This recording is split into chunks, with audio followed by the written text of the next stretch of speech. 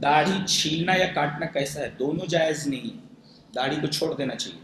अब कोई नदवी साहब, कोई कासमी साहब और कोई पीर साहब, कोई मुल्ला साहब अगर ऐसी हरकत करते हैं तो इसके जवाब दे वो खुद हैं। हदीस अपनी जगह मौजूद है।